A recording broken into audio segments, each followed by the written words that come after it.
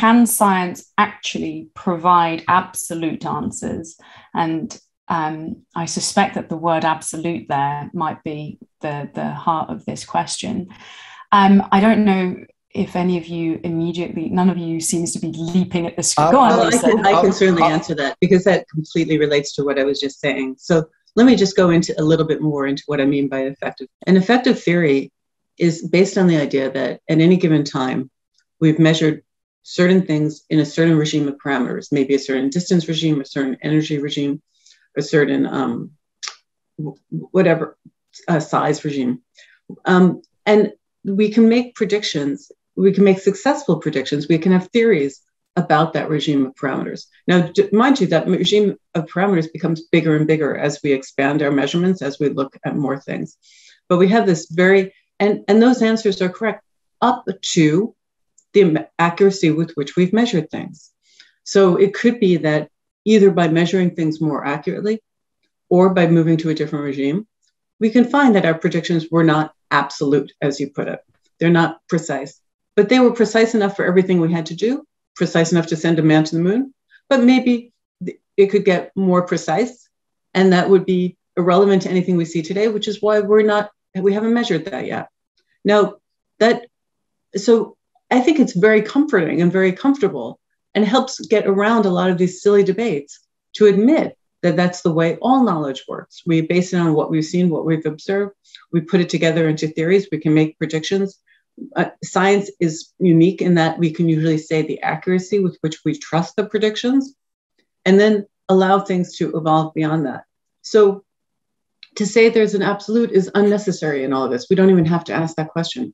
We all we have to do is ask the question: Is it is it good enough for what we're trying to do in whatever we're trying to predict, whatever we're trying to build? And that's the sense in which science is brilliantly successful. And it's also brilliantly successful in telling us when we don't have absolute things. I mean, what we're doing in particle physics is we're looking for deviations from this, what we call the standard model. That's what tells us how to go beyond. It doesn't mean the standard model is wrong. It mm-hmm. tells us that there could be a richer structure that underlies it. And that's the way science can evolve. Can, can I just can I just say here? I, I think this term absolute is is again not being very helpful. Um, does do, do, do scientists come up sometimes with true correct answers to certain questions yes they do um, what's supposed to be absolute is, is, is, sometimes the evidence that those answers are correct leaves them beyond any what we would call any reasonable doubt um, DNA has a double helix structure. That's a really important discovery. It, it um, if you're worried about COVID, we know it's a virus, right? We got the sequence very quickly. Those are not; those are really not useful things that anyone can question. Um, high level theoretical physics is an entirely different matter. You're, you, you are not going to ever be sure you have that nailed down exactly right but we sure do know a lot of stuff and we know it beyond any no but i'm saying let me just to be clear even for something like a virus yes it's a virus but maybe it's a virus interacting with something else so the virus is an approximation to how we should be thinking about it. Of course it's an extremely excellent approximation just the way the standard model is an extremely excellent approximation. So you're right that when we're really at the edge of, of knowledge of course, then these effective theories are breaking down in ways that we can manifest. But there's a lot of stuff in physics that's on as solid ground as the kind of stuff that you, just mentioned. And so I don't mean to say that that doesn't exist.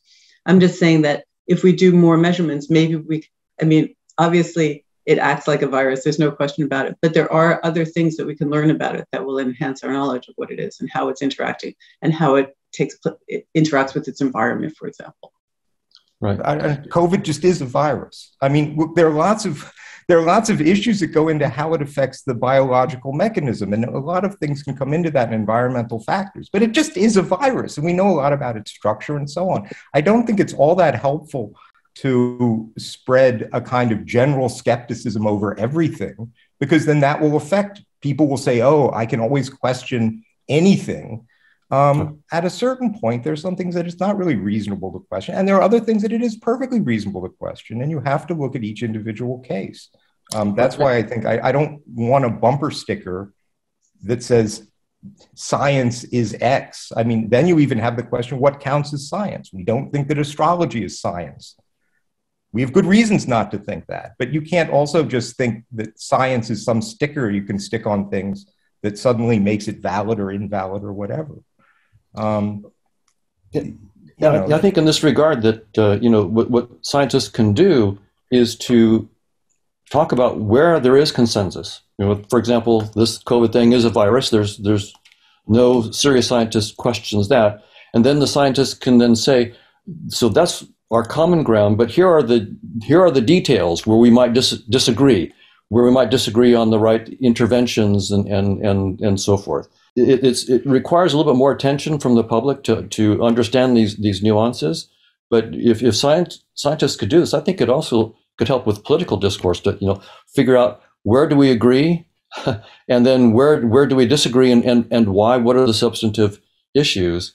Um, so scientists would, would say there are no question about certain interventions for the virus and certain things. You know, there's no question about that.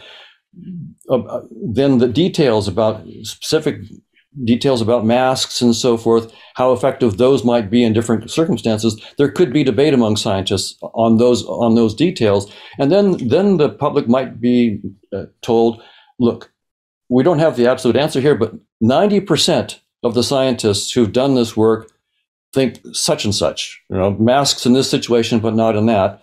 And 10% disagree. So right now, you know, the 10% might be right, but right now we have to go with the 90%. Um, and, you know, in two years from now, we might find something different. So I just, I mean, one thing that we do though often is we, um, we cite people, we cite 90% of the people. But what would also be very useful is that 90% of, of the time it was found that this works.